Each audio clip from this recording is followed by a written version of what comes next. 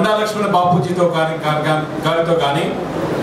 లేక మున్నూరు కాపు కులస్తులతో కానీ కలిసి త్రిమూర్తులు అనేవాళ్ళు ఆ త్రిమూర్తులు కలిసి స్థాపించిన పంతొమ్మిది వందల ఇరవై రెండు లోపల ముదిరాజ్ మహాసభ స్థాపించినట్లయితే నాలుగు అంశాలు ముఖ్యంగా తీసుకోబడింది. విద్య విద్య ఉద్యోగాలు ఆర్థికంగా ఎదగడము రాజకీయ అధికారం సాధించడం. ఈ విద్య ద్వారా ఉద్యోగము ఉద్యోగం ద్వారా ఆర్థికంగా ఎదగడము ఆర్థికంగా ఎదిగిన తర్వాత రాజకీయ అధికారానికి దగ్గర కావడం. బడుగు వర్గాలు ఏవైతే దళిత వర్గాలు వంద సంవత్సరాల కింద ఏ విధంగా అయితే ఉన్నాయో వంద సంవత్సరాల తర్వాత కూడా అదే విధంగా ఉన్నాయి. సో దీనికి ముఖ్యంగా ఏ మహాసభ యొక్క ఉద్దేశాలు ఉన్నాయో మహాసభ యొక్క ఉద్దేశాలు కానీ కుల సంఘం యొక్క ముఖ్య ఉద్దేశం కానీ ఆ కులంలో ఉన్న వారికి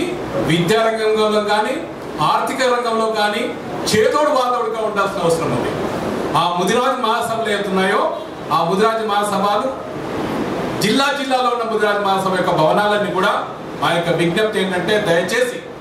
మీరంతా వివిధ జిల్లాలకు వెళ్ళి వచ్చినారు విద్యార్థులకు దయచేసి ఆ మహాసభ ద్వారా ఏర్పాటు చేయబడిన ఏదైతే కృష్ణస్వామి గారు ఏదైతే చైతన్యం తీసుకొచ్చారో వంద సంవత్సరాల కిందట దాని ద్వారా ఏర్పడిన ముదిరాజ్ మహాసభ ద్వారా వివిధ జిల్లాల్లో ఏర్పాటు చేయబడిన భవనాలు ఎత్తున్నాయో లేక హైదరాబాద్లో సంబంధించిన ఆస్తులు ఎత్తున్నాయో వాటి ఆస్తుల మీద వచ్చే ఆదాయం లోపల ఇరవై శాతం ఖచ్చితంగా విద్యార్థులకు